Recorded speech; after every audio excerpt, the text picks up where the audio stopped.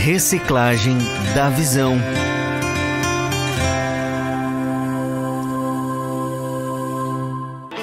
Muito bem, estamos de volta. Agora são 22 horas e 10 minutos. Estamos com a equipe toda agora na tela, os convidados. Leonardo Moura de Canoas, Deli Silveira de Salto Jacuí. E mais os que estão sempre participando aqui, Sérgio Alves e Luciano Moraes, né? Uns fixos aqui do, do Novas já nas segundas-feiras. Nós vamos cumprimentando nossos convidados, então, primeiramente. Vamos ver de que lado tá quem que tá vindo primeiro aqui, é o, é o Derli. Boa noite, Derli, tudo bem? Boa noite, boa noite a toda a equipe pessoal da Novos do Reino, boa noite, ministro. Boa noite. Irmão, aí, Deus esteja abençoando aí, nos dirigindo essa noite no compartilhar. Amém? Boa noite, Derli. Aí, boa, Derli. Leonardo Moura, boa noite, Leonardo. Boa noite, Nico, boa noite, ministro, todos da bancada aí, que Deus possa nos proporcionar um programa abençoado aí para a edificação de todos. Boa noite, hum. Leonardo. Hum. Tá certo. Sérgio, tivemos aí o encontro de Passo Fundo. Não sei se tem alguma direção aqui do que a gente pode começar compartilhando com os presbíteros, ou tem algum segmento aí para dar na, na, palavra. Eu acho que o melhor é fazer as colocações que eles precisam. Perfeito. Então tá, vamos lá. Derli, que, que tu tem aí para falar sobre esses dois eventos que tivemos, né? Sexta e sábado para o Passo Fundo. Na realidade, irmãos, né, foi um avanço, né? Eu, começando na sexta-feira já, foi, falei que foi, e saldo foi um cumprimento daquilo que o Senhor queria, né? E eu vou compartilhar mais sobre sexta, assim, a mensagem bem profunda, bem calma, né? E, e eu analisando ali a mensagem, né, irmãos? E, e eu me, a, olhando ali me refletindo a minha vida, né? Porque eu fui, fui melhorar a minha convivência com as pessoas depois que eu mudei. Né? A gente, quando eu mudei, assim, que é, acabei aceitando todos como são, né? A gente, o Senhor foi trabalhando na gente, foi é, mostrando as coisas, né? Que o problema não é o nosso irmão, né? Não é o olhar para as fraquezas do nosso irmão, que olhar para nós e saber que nós também somos fraquezas e isso não nos divide, né? Então, o que, que eu peguei na sexta-feira, assim, que quando me refleti, assim, na imagem que o Senhor, o Senhor tinha feito em mim, irmãos. Eu aprendi a conviver com minha família espiritual e a minha família natural também. É, as duas andando junto, né? A gente acabou se acertando com todos, assim, e conciliando as coisas, né? Nós temos duas famílias e nós temos que nos dar bem com todos. Uhum. Ok, Leonardo. Amém o que eu recebi assim esse final de semana é aquilo que o Espírito tem trazido há diversas semanas, né? Eu percebo assim que o Espírito Santo ele não tem mais falado por parábolas, né, conosco, né? ele tem falado abertamente, claramente com cada um de nós, né? Então, isso me remeteu a uma palavra que está lá em Provérbios, eu vou ler só para os irmãos aqui, de Provérbios 29, 19, e diz assim: O servo não se emendará em palavras, porque ainda que entenda, não obedecerá. E essa é a nossa real condição hoje, né? Por mais que a gente tenha ouvido todos esses anos, né, que vem por meio do ministério, que seja uma palavra pura, eu creio que chegou um momento, sim, que a palavra não surte mais efeito em nós, né? E por mais que a gente entenda, e a gente entende, a gente disser, a gente sabe o que tem que fazer, né? A gente não vai se emendar com as palavras, né? Porque a gente está corrompido, né? A gente anda em corrupção. E somente no ouvir e ouvir a palavra, a gente não vai conseguir se, o Senhor não vai conseguir nos emendar novamente, né? A não ser que haja uma quebra radical para que a gente libere o boa nome.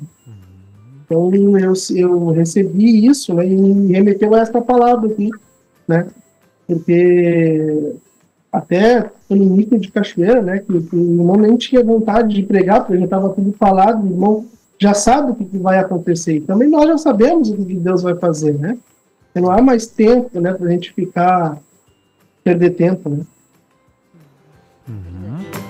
Esses, essas mensagens todas, elas redundam bastante sobre o que Deus quer trazer, né? Eu vejo que na mensagem, no versículo que foi falado sobre Evódia e Sintique, é o início para depois abrir aquela palavra de Efésios 4, que fala sobre a unidade, né? E a gente vê que a nossa união, assim, as coisas que Deus quer trabalhar, como Derli trouxe ali, tudo que o Leonardo comentou, Deus já ensinou todas essas coisas e, e ainda não conseguimos alcançar essa verdadeira unidade, essa verdadeira comunhão. E creio que só com quebrantamentos, né? Creio só assim. Que o Luciano tem para nos dizer sobre isso? Pois é, né? Uma boa noite a todos aí. Eu estava pensando hoje de tarde, depois de refletir na mensagem de sexta-feira. Sexta-feira, assim, o senhor deu um, um, um norte ali, veio até o culto mundial, mais ou menos os assuntos tudo em torno. Se na época de Paulo lá, né, onde eles viam coisas assim, o Senhor fluir realmente muito forte naquela época, né? A nível de sinais, de prodígios, né? Deus proporcionou uma movimentação do Espírito Santo em vários membros ao mesmo tempo. Houve divergência entre esses dois membros do, do corpo de Cristo naquela época. Aí eu fiquei pensando, imagina hoje se não vai haver, né? Nesse pois é. período. É que a gente está vivendo. Não é difícil de tu ver irmãos discordarem, estarem divididos, estão com problema de perdão, de amargura. Isso aí é comum na igreja, né? Isso é uma coisa que a gente vê praticamente toda semana pessoas com problemas, né? Ou abertamente, ou a nível de terapia, sempre há, né? Ou é marido e mulher, não pensam concordemente no Senhor, né?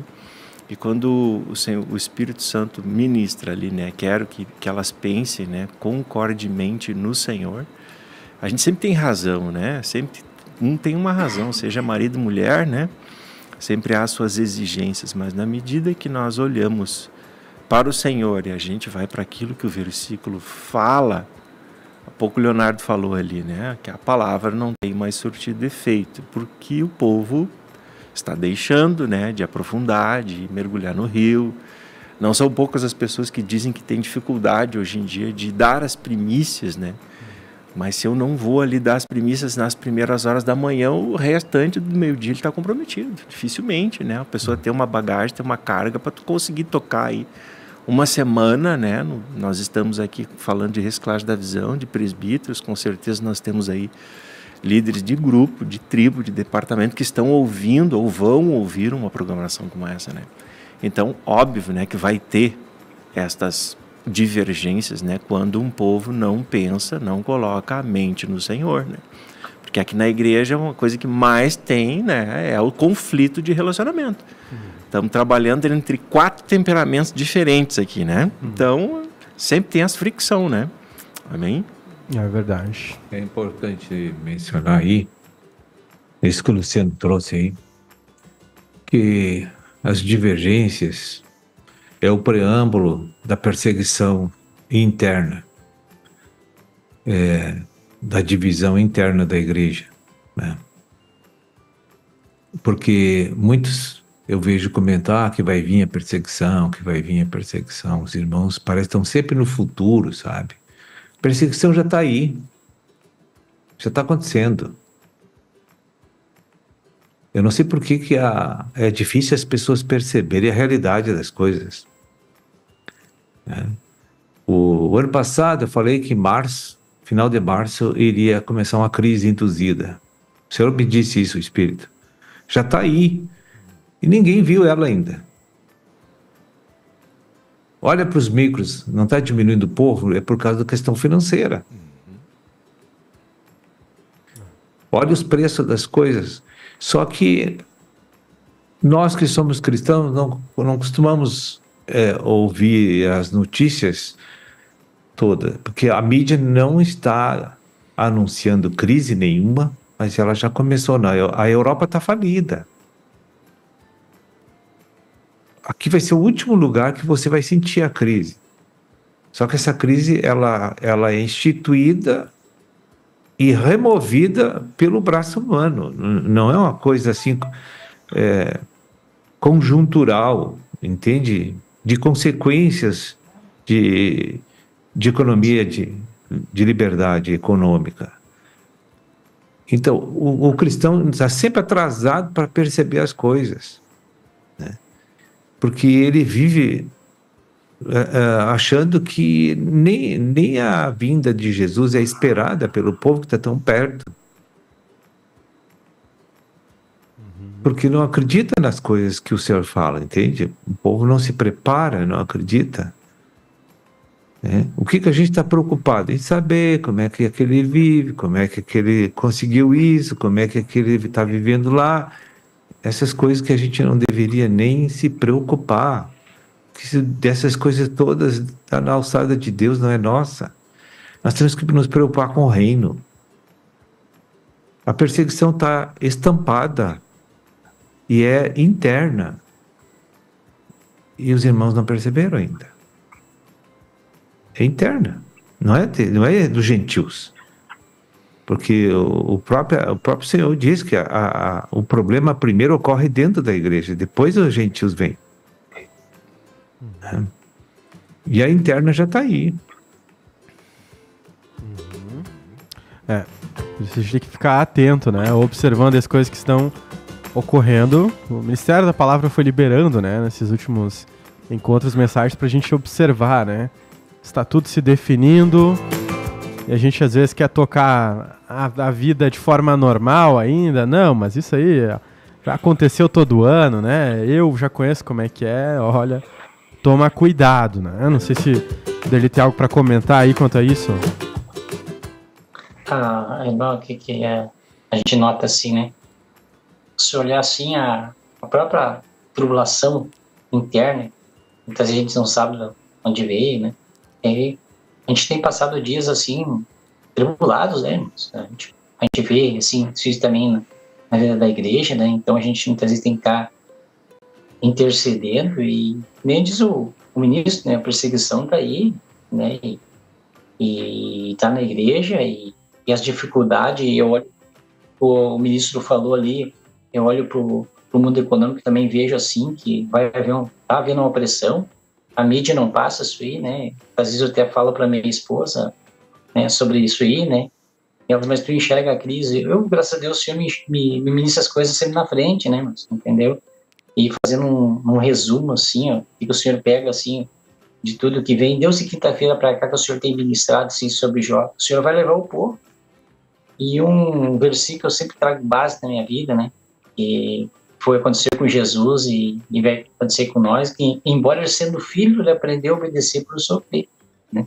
E o sofrimento nos faz nos levar à dependência de Cristo. Eu creio que o Senhor quer fazer isso com todos nós da igreja, né? Todos os líderes, os presbíteros, o povo que está buscando o Senhor, o Senhor quer fazer isso, produzir isso em nós, né?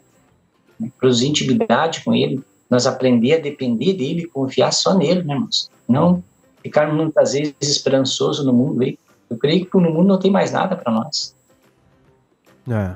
E as chances foram dadas, estão sendo dadas, né? Mas assim como na vida de Jó ali, quando começou a trabalhar, Deus ficou só observando aquela obra ser concluída, né? Porque ele precisava transformar aquele vaso, ele precisava ser usado, ser uma bênção. Quantos de nós, às vezes, aí que estamos levando uma vida parcial com Deus, né? Ah, eu tenho fé em Deus, eu creio que Ele pode mudar isso, pode mudar aquilo, mas não produz nada, né? Fica só naquela leitura básica, lê uns salmos. E Deus está vindo para ajeitar isso, né? Na minha vida, na tua vida aí que hoje está nos ouvidos. Tem algo a comentar quanto a isso, quanto a que foi falado no encontro de Passo Fundo, nas últimas mensagens? Deixe teus comentários aí, estamos aguardando, ok? Vamos dar aquela passadinha rapidamente aí nas redes sociais, YouTube, Facebook. Como é que tá aí as coisas? Aqui pelo YouTube a gente tem várias pessoas comentando. E Boa. eu vi que vários nomezinhos aqui são lá da região de Passo Fundo, né? Do nosso último encontro. Então, se vocês que estão dando boa noite aqui receberam alguma coisa, né, no encontro, como foi a participação de vocês ou os irmãos que foram, coloca aqui nos comentários também. Boa, e boa. a Patrícia Severo comentou porque os meus pensamentos não são os vossos pensamentos, nem os vossos caminhos os meus caminhos, diz o Senhor. Palavra de Isaías 55:8. Acho que vem de encontro aí com o culto mundial que a gente teve domingo, né? Nosso encerramento do final de semana, que o Senhor trouxe um falar para nos animar, né, de ânimo, de consolo, talvez, né, para muitos.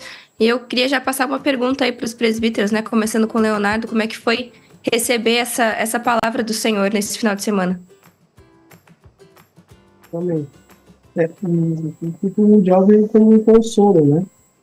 Muitas vezes a gente se depara focando somente nos problemas e nas provações que a gente está passando, mas a gente acaba esquecendo né, da glória prometida a nós, que é muito maior do que qualquer coisa que a gente esteja passando é, neste momento. Né? E aí me vem aquele versículo, né? quero trazer à memória aquilo que me pode dar esperança. Né?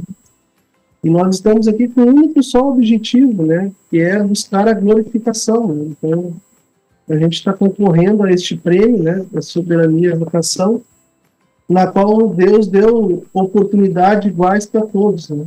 Agora, quem vai pegar e vai emplacar depende da entrega, do empenho de cada um em se negar e fazer a vontade do Senhor. Uhum. Eu vi algo que me chamou muita atenção no culto mundial, que foi quando foi trazido, né, que a gente passa por provações, né, a gente passa por tribulações na nossa vida, mas o resultado disso vai mudar dependente do, de como eu vou reagir àquela situação, né, se eu me exalto, se eu me imponho, se eu me encho de justiça própria perante o Senhor, aquilo ali vai prevalecer, né? Vai durar muito mais, vai persistir até não sei quando, né? Mas quando eu aceito, quando eu me humilho, peço graça para o Senhor, né? Peço para o Senhor me ajudar, me, é, me dá graça para passar por aquilo ali, né? Aquela aprovação cessa. Eu não sei se o Derli teria algo para compartilhar com a gente sobre isso também. Amém, irmãos. É, eu creio que uma coisa muito forte na minha vida, que eu tenho dificuldade assim, é a justiça própria, né? Então a gente ah, simplesmente a gente analisa muitas coisas assim, muitas vezes eu tenho, muitas vezes eu me pego assim, né? E, então eu, é, uma, é, uma, é uma briga assim que eu odeio assim de ver injustiça, né? E muitas vezes você fica olhando assim, né? E, e acaba fazendo que nem Jó, né? Tu olha assim, tá passando as dificuldades e você vê, pá, mas mas a gente está procurando, né? Na realidade, já justificando, a gente tem que aceitar aquilo que o Senhor está propondo para nós e olharmos para Cristo, né? Não olharmos o momento, aquilo que a gente está passando, né? Eu acho que nós temos que focar, sim, o que eu pude entender, nós focar em Cristo, né? Ainda mais nessa reta que nós temos aí, nessa reta final, eu creio, assim, que há muita, vai vir muita uh, perseguição interna, externa, pode haver dificuldade, né? Pode se levantar muitos problemas assim, e nós temos que aprender a consultar o Senhor e olhar para Cristo. Uhum, perfeito. Vou aproveitar aqui o engajamento, são mais de 130 máquinas conectadas aqui com a gente, né? Mais Facebook aí, o Voxels. Amanhã o, o programa Vinde a Mim vai ter uma nova temporada no personagem bíblico, né? Parábolas da Bíblia. E amanhã vai ser sobre a parábola do bom samaritano, que o Matheus Pires estava me lembrando. Amanhã às 8 horas da manhã, confira aí, vai ter participação do Ministério da Palavra. Vai estar tá estreando este novo quadro, né? A nova versão, nova temporada. Só para avisar aí vocês. Vamos lá, dando segmento aí, José. Não sei se tinha alguém pelo Facebook aí dando os comentários. Boa noite. Bom, vamos dar uma olhada aqui. Temos muitos irmãos dando boa noite aqui. Vamos ver a Maristane com a gente, a, Cat, a Kathleen, o Carlos, deixa eu ver quem mais aqui, o Michel, o Paulo Ricardo, a Claudete, o Sérgio Barbosa, a Neiva, a Nilza Fraga aí. Vários irmãos conectados aí com a gente no Facebook. Já vão deixando seu regar e se compartilhar, meus irmãos. Deus abençoe. Boa. Luciano. É isso aí. vou lançar uma pergunta para todos aqui, né? Vamos, vamos compartilhando, fazer um bate-bola bate-papo edificante aqui, né? Foi compartilhado alguns tópicos ali na sexta-feira, muito interessante, voltado para as lideranças da igreja, estrutura, sobre inovação. Eu anotei aqui, inovação municipal. Foi feito um, com, uma, um, um comparativo ali, né? entre a tecnologia do passado e o smartphone hoje, né? Que se as pessoas do passado ficassem na mesmice, fazendo as mesmas coisas todos os anos, contentando-se né, com aqueles pequenos grupos, com aqueles mesmos movimentos, né? É, como, como ficaria né, a tecnologia? Nós estaríamos usando equipamentos muito ultrapassados hoje. Qual é a experiência dos presbíteros hoje né, em relação a isso? Como inovar a respeito das. Não sei se os irmãos têm experiências aí com as palestras da editora Vento Sul, Amigo Vento Sul, né? O que, que os irmãos têm para compartilhar conosco aí? Eu vejo assim, né, irmãos, que a gente tem que acompanhar a tecnologia, porque o princípio de Deus ele é imutável, mas as estratégias elas se alteram, né, e se adequam de acordo com a realidade, né. Então, se tu for reparar, antigamente, os apóstolos mandavam cartas né, para as igrejas, escreviam e enviavam ali, onde eram ruminados e eram regados nas igrejas, nos grupos, né? E hoje o apóstolo, ele entra ao vivo, ele é conectado pela internet e, e simultaneamente o mundo inteiro pode assistir, todas as igrejas, né? Então, isso a tecnologia é, proporcionou, né? E eu vejo, assim, que nós, como membros do corpo de Cristo, a gente é muito defasado em batalhar pela fé por meio das redes sociais. Né? A gente é muito ativo né, nas nossas coisas pessoais, né? No que tange curtir, compartilhar, mas quando chega na hora da gente compartilhar as coisas do Senhor, dar um like, não é a mesma quantidade do que assiste e do que a daquelas pessoas que comem na mesa, né? E, e, é triste isso, né, irmãos? Porque isso fomenta o reino, né? Leva a palavra para tantas outras pessoas que precisam, né? Então eu vejo que a tecnologia, quando ela é mal usada, ela nos atrapalha no reino, tem que perder muito tempo acessando coisas que não edificam. Coisas que são listas, né? Mas, se a gente pegar a tecnologia, o smartphone, para um fim proveitoso para apacentamento, para compartilhar, para, enfim, de, de edificar o reino, ele é muito proveitoso e, e muito produtivo. Só que a gente tem que ter né, um fruto do Espírito que se chama domínio próprio, né? E a gente não tem é, isso aperfeiçoado nós, que é o domínio próprio para se utilizar da maneira correta dessas ferramentas aí para pulverizar a palavra do Senhor. Uhum, perfeito.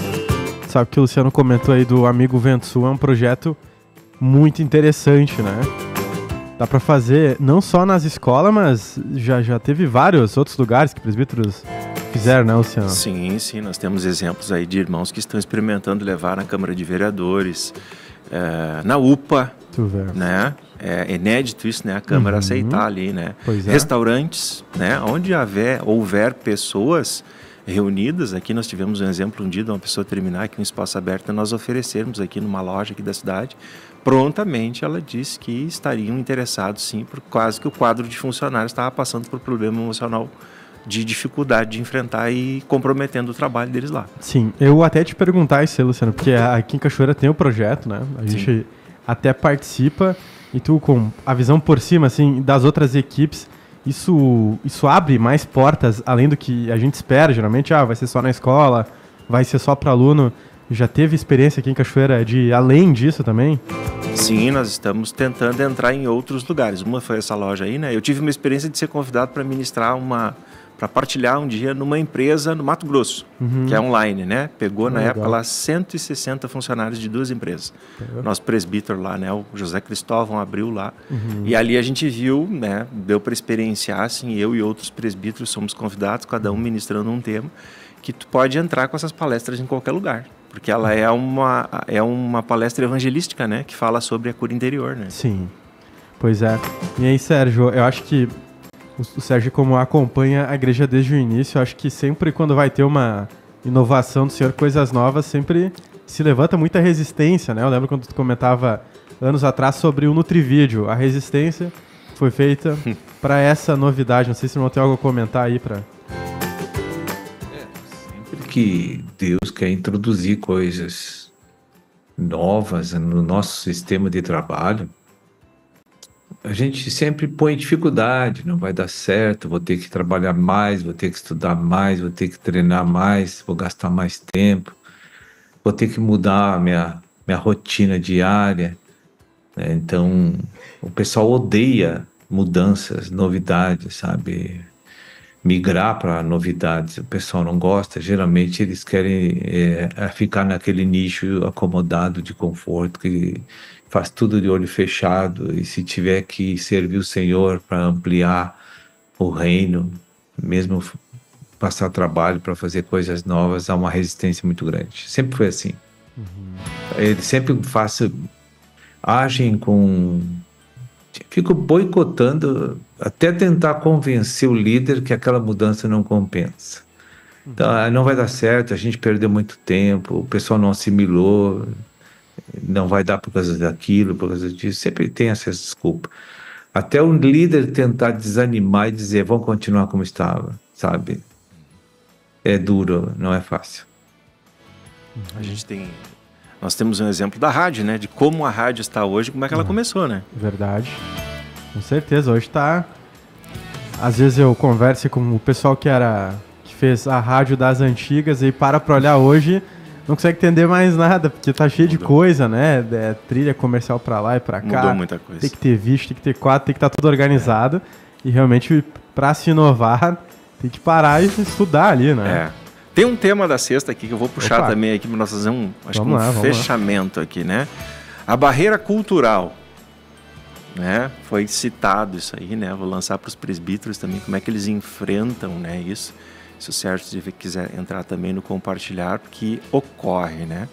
Eu me lembro no tempo do passado, quando eu era criança, assim, a gente sempre via mais as pessoas com baixa renda irem para as igrejas nas suas congregações, aqui em Cachoeira do Sul, me criei no meio, né? E às vezes para os pastores pensar e ter essa visão, né, de que era mais fácil trabalhar com a pessoa que estava passando por dificuldade financeira, que não tinha estrutura, que ganhava pouco, né? E acabava empurrando, né, as pessoas de, de maiores condições, os empresários, enfim, aqueles que eram melhor providos na cidade, né? E hoje, na igreja, como é que os irmãos enfrentam? Tem esse tipo de dificuldade aí na igreja, onde os irmãos estão uh, conduzindo, de quando chega uma pessoa mais abastada, há um tratamento diferenciado? Como é que os irmãos uh, equacionam esse tipo de problema aí nas cidades aí? Uhum. Derli? É, aqui, né, por exemplo, a gente acompanha bastante que muitas vezes a gente é chamado para pregar as dominações aqui, né? A gente recebe o convite. E a gente chega lá, a gente acaba uh, descendo, porque eles não têm o conhecimento daquilo que o Senhor tem dado para nós aqui na vida da igreja, né? A gente não pode chegar lá, que nem eles estão carteiraços, né?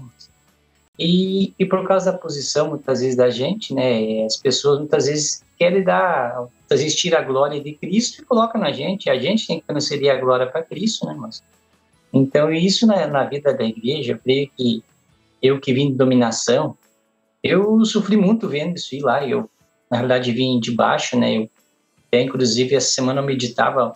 Uma das coisas que eu saí da Assembleia de Deus foi porque, não por causa de mim, entendeu?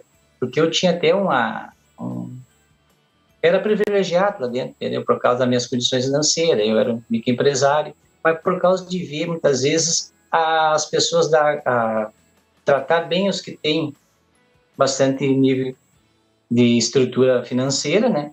e os dá mais privilégio para aqueles porque têm mais humilde. Então, o que que mais simples, né? Uhum.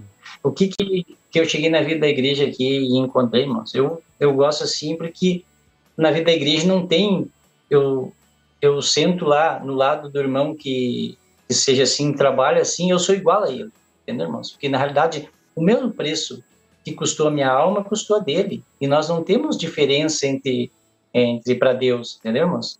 Só que muitas vezes o que, que a gente nota assim, ó, muitas vezes o que tem mais poder financeiro tem mais privilégios, né?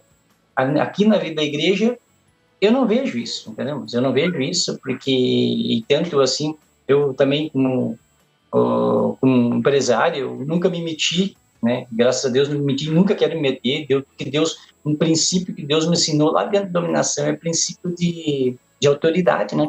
É, Deus me mostrou lá que aonde você chega tem autoridade você tem que obedecer o líder ali. Nós aqui nós temos liderança, que é o ministro aqui, que não enxerga Deus no irmão, né? e nós temos que obedecer. Né? Então, esse problema aqui na cidade eu não tive, ainda que eu só trabalhei com gente pobre até hoje, né? Os ricos o Senhor não me alcançou ainda. Amém? Amém. Leonardo? Amém. Eu creio que isso é muito comum acontecer, né? Pessoas que têm mais posse, que fala mais eloquentemente, se porta adequadamente, são mais bem tratados do que as pessoas humildes. Né? E ultimamente o senhor tem trazido só pessoas bem humildes, assim, que não tem como se locomover até a, a igreja, né? Então, cedo, assim, eu tenho que sair do, do templo lá, buscar, levar para o culto, e aí não tenho dinheiro para a Bíblia, vou lá e dou uma Bíblia, e, e, e levo para grupo, Então eu vejo assim, eu fiz um teste, né? Porque o que acontece? É, muito, é, é, um paradoxo muito grande, assim, porque a maior felicidade que a gente tem é ver um culto cheio, né? Os irmãos ali, o frescor do Espírito, Deus acrescentando os novinhos. Mas quando Deus acrescenta os novinhos, aqueles novinhos não são de acordo com aquilo que eu imaginava, né? Que iam sentar, ficar quietinho, né? Ter um padrão, né? Então, um vai falar mais alto, um vai gritar, outro vai cantar, porque eles vêm de denominações, ou é o primeiro contato que eles têm com a palavra, eles vão se portar inadequadamente, ou eles são muito humildes, né? Muitos vão estar mal cheirosos. E eu percebo assim que não há um interesse por aqueles irmãos, mas a gente tem que entender que se eles estão ali, foi Deus é que trouxe aquelas vidas ali.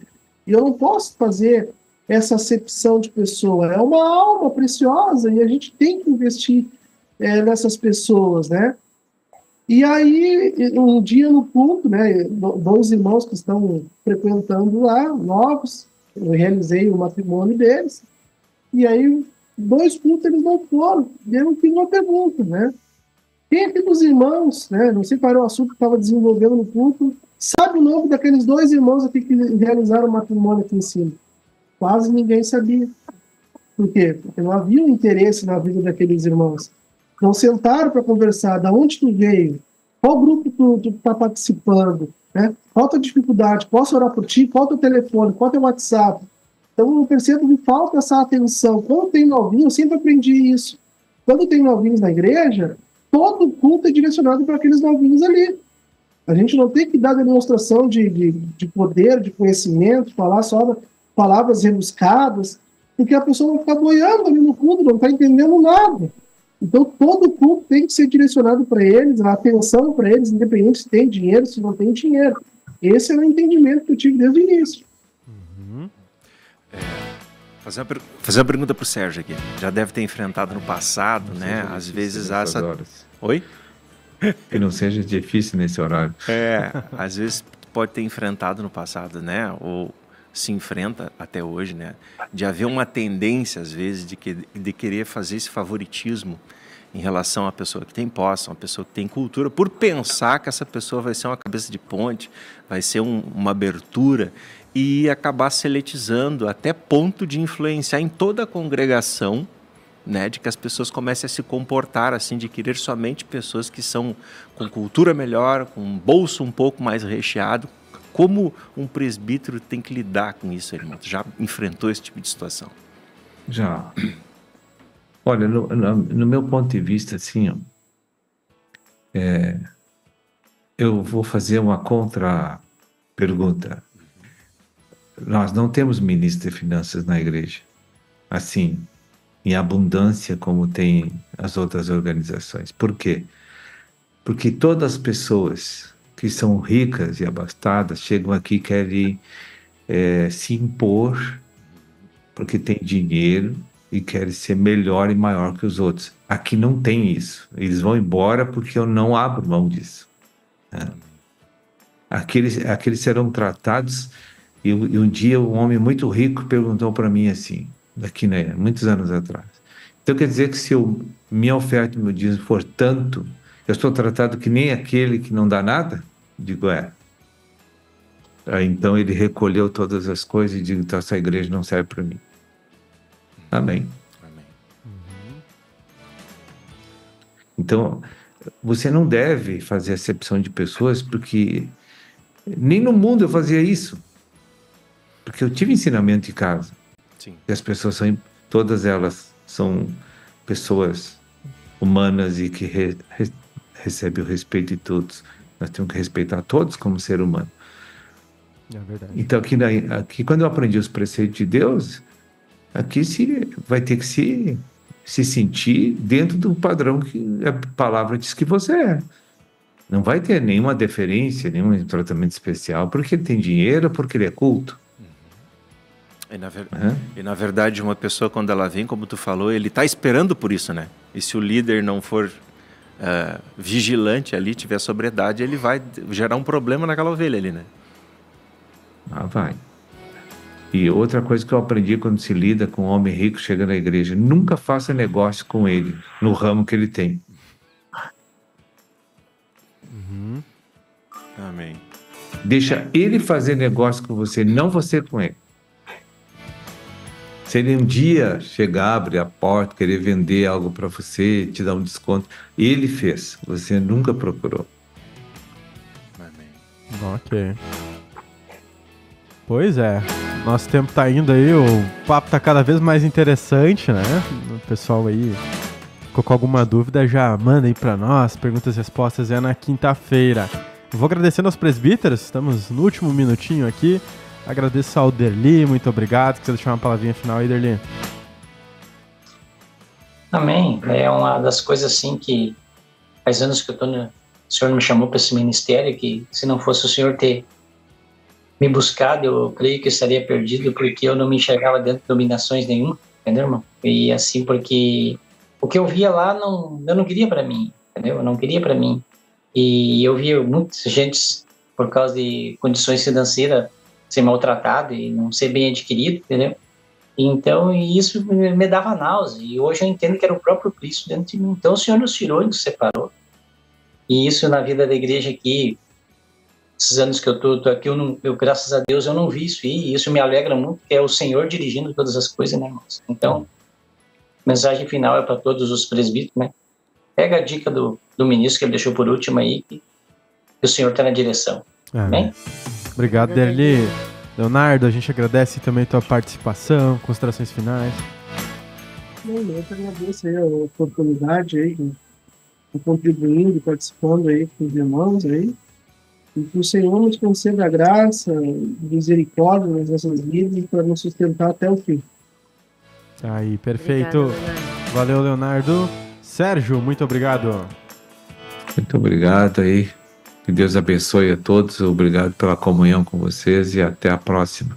Aí, até a próxima então. Deus abençoe. Isso aí. Os presbíteros, ministro da palavra, participando com a gente aqui. Também o Luciano. O Luciano vai dar as considerações finais aqui na, na volta do tchau aqui, tá, Luciano?